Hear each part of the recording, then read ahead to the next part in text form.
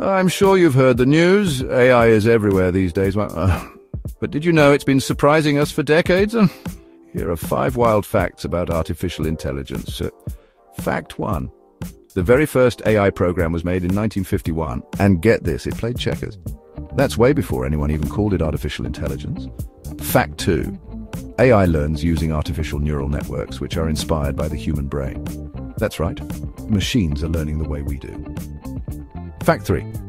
Here's something wild AI can actually amplify our own biases, because it learns from human data. So if we're biased, AI can be too. Or fact 4. The first real test of machine thinking happened in 1950, called the imitation game. It's the OG way we test if computers can act human. And fact 5. AI isn't just for automating boring stuff. Oh, it's helping scientists discover new medicines and materials, making real breakthroughs every day.